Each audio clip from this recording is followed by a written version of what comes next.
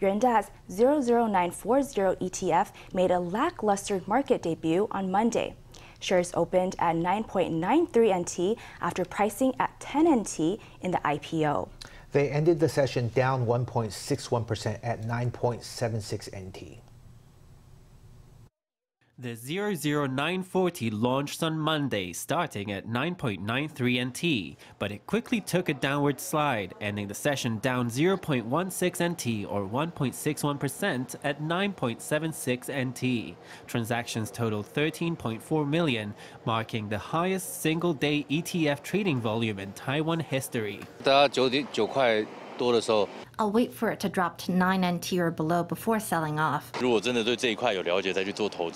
I think it's better to get a thorough understanding of this kind of thing before investing. Otherwise, you end up getting played. Last week, shares of the ETF's 20 top constituent stocks were sold to investment banks at high prices. Analysts say this triggered the ETF's drop on Monday.